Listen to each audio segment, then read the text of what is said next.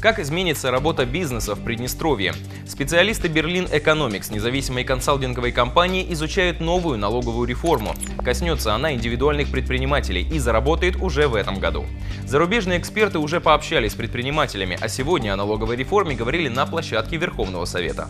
Мы говорили о том, что мы посчитали важным это расширить возможности индивидуальных предпринимателей и самое главное для нас перераспределить налоговую нагрузку для того, чтобы э, те малые предприниматели, которые сегодня работают у нас в государстве, они на себе не ощутили серьезных изменений. Наши коллеги из Berlin Economics оценили как положительные изменения, и большого количества, наверное, тех вопросов детальных у них не возникло, потому что э, теперь самое главное, они хотят увидеть, посмотреть, каков же будет эффект.